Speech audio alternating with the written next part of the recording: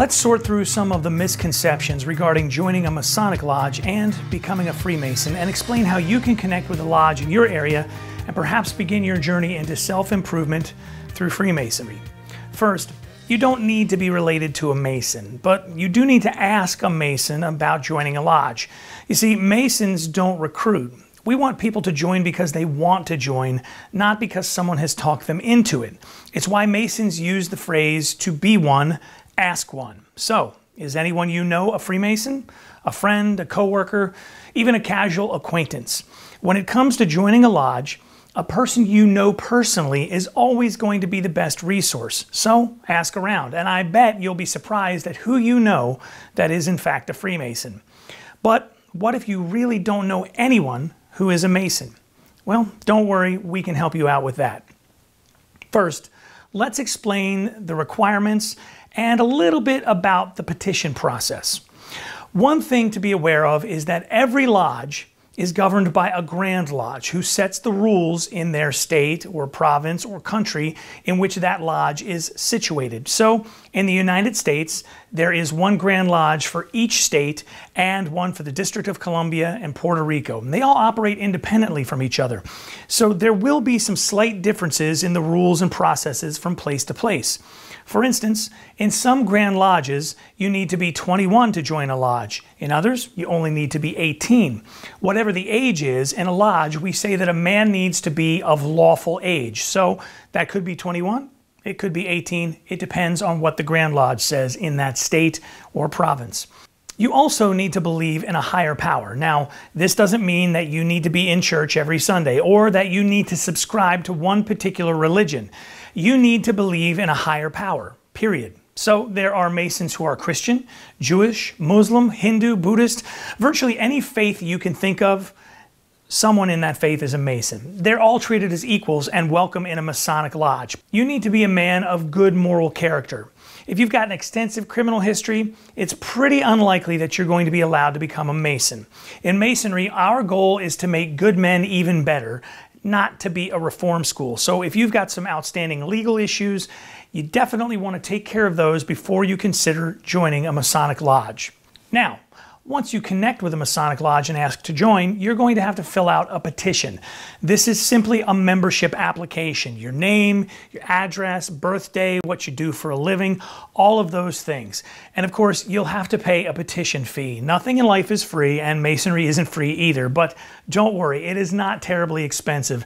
In most cases, it's a few hundred dollars for initiation and includes a few things that you'll need once you become a Mason. It also usually includes your first year's dues. Oh, by the way, there are yearly dues, which is just the fee you pay every year to be a Mason.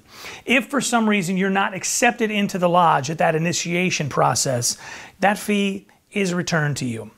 Once you turn in your petition, a few things will start happening behind the scenes. First, in many Grand Lodges, they will perform a background check to make sure that you don't have any of that criminal history that we were worried about just a little bit ago.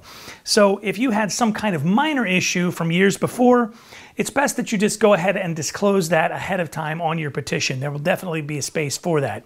Next, your name is going to be read out in lodge and sent to every member of the lodge in the monthly newsletter so that every brother in the lodge knows exactly who it is that is asking to join after the background check and your name has been read in lodge, you're going to be contacted by the lodge and the investigation committee is going to come and visit with you. Now, this is not as scary as it sounds.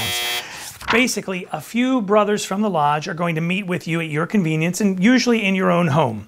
This is not only a chance for those guys to get to know you a little bit, but it's also a chance for you and your family to ask as many questions as you want about Freemasonry, about the lodge itself, about the petition process, about all of those things. So, this is a really good chance for a give and take type of dialogue. That investigation committee, it sounds scary, but actually, it's a really great experience. And the guys who came to investigate investigate me when I became a Mason are now some of my best buddies.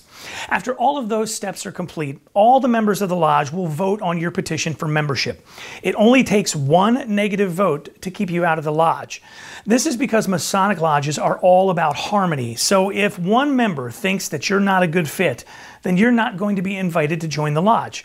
That's why every member needs to be informed about who's joining. So, If you do happen to know someone in that lodge and maybe somebody has a problem with you, maybe you stole somebody's girlfriend in the eighth grade or something like that, now is probably a good time to straighten that out or perhaps consider petitioning a different lodge.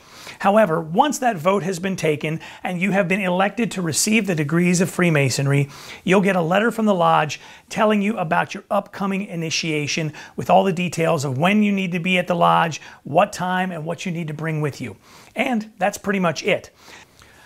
Here are a couple of tips to keep in mind. First, you're going to need to exercise some patience. The process of joining a lodge can take a little while, usually a few months. Summertime and holidays, they can be especially slow. So be patient and don't get discouraged. But make sure you follow up every couple of weeks to see where your petition is in the process. Finally, to make that whole process as easy as possible, you need to check out beafreemason.org. This is a website that has been set up by three of the largest Masonic organizations in the United States to help men connect with Freemasonry and get started on their journey. It is a one stop site to answer all your questions, get legitimate information, and take that first step. Believe me, there is a lot of fake information on the internet. I know you're surprised. But if you go to beafreemason.org, I guarantee you're going to get the right information and get connected with the Grand Lodge in your area. So, if you're really interested in Masonry, go to beafreemason.org. The link is in the description below and also at the end of this video. If you've got some specific questions about becoming a Freemason, drop them in the comments below or email podcast at scottishrite.org. Remember to subscribe to the channel, like the video, and share this with your friends. Good luck in your journey into Freemasonry.